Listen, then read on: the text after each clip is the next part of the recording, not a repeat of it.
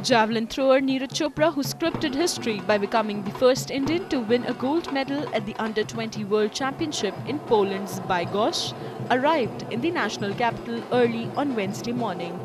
Chopra created a new under-20 world record by throwing the javelin at a distance of 86.48 meter and broke the old mark of 84.69 meter held by Latvian Zigismunds Sirmais from nearly 2 meters.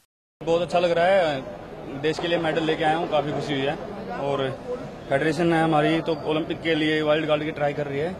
तो होता है तो अच्छा है, नहीं तो अपना मेहनत करेंगे continue The 18-year-old sportsman hails from Haryana's Panipat.